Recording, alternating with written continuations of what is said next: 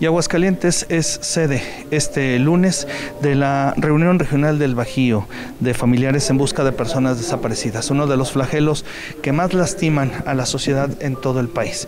Pero ¿qué le parece si lo invito a que conozcamos la opinión de padres y madres de familia que en los últimos años y en los últimos meses han perdido a un familiar?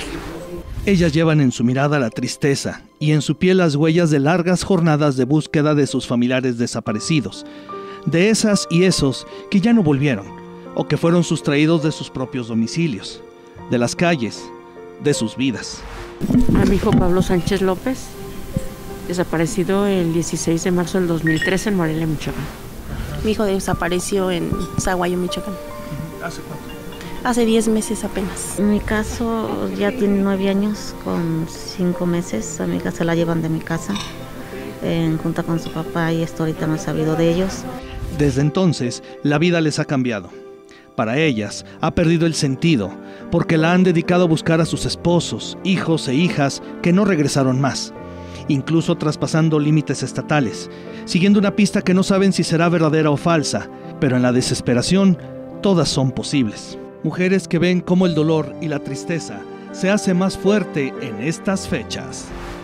Pues el buscarlo e identificando otras personas en vez de mi hijo. Porque pues en ese tiempo no había las instituciones que hay ahorita, que es comisión de búsqueda y este y la fiscalía en desaparecidos. Pues duro, duro, la verdad pues yo no, no sabía ni que existían estas personas. Entonces pues para mí ha sido difícil, difícil este camino. Y ha sido el peregrinar de dependencia en dependencia, de una oficina a otra, de funcionario en funcionario, tratando de encontrar una cara, una mano que les dé la confianza de que verdaderamente están haciendo algo por encontrar a sus familiares, de que sus casos no se pierdan en la burocracia para ser solo un número más en la estadística.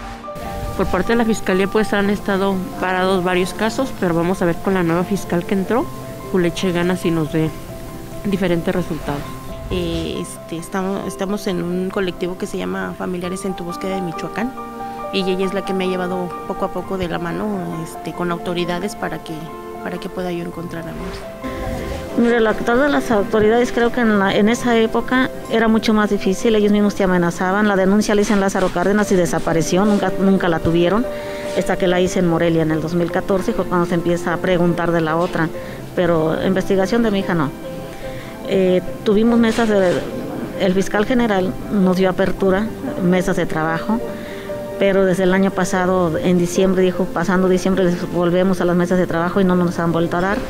Y así es amigos, como Aguascalientes recibe esta reunión regional del Bajío de Familiares en busca de personas desaparecidas.